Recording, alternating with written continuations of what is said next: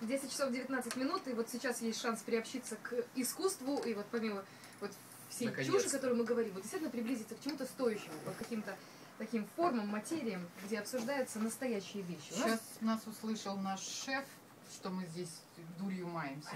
ни в коем случае Думаю, нас тогда, конечно, зарплату получим. Молодец, Татьяна. Мы работаем на контрастах. И в данный момент у нас в гостях находится художественный руководитель Московского театра школы современной пьесы Иосиф Райхелькаус. Доброго вам утра. Спасибо, что пришли.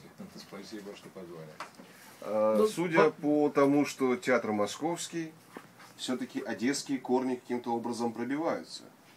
Да, безусловно. Во-первых, я сам родился в Одессе. Во-вторых, как только я объявляю очередные гастроли в Одессу, выясняется, что практически у всех артистов в Одессе есть родственники. В крайнем случае, там, в третьем поколении, в четвертом, но просто обязательно. Ну, я уже не говорю там, э, там о Саше Гордоне, у которого папа из Одессы, и который сам убежден, что он из Одессы, или э, такая у нас есть Каря Директоренко, замечательная артистка, у которой там родная тетя Рая. И, А с- расскажите о том, как любят Одессу. В- Ну, в Москве, в частности, когда вы ездите. Ну, как это происходит? Но мне кажется, что еще не только театральные деятели э, ищут родственников, но также и одесситы сразу же думают, о, наши родственники едут, обязательно надо попасть на спектакль. Да.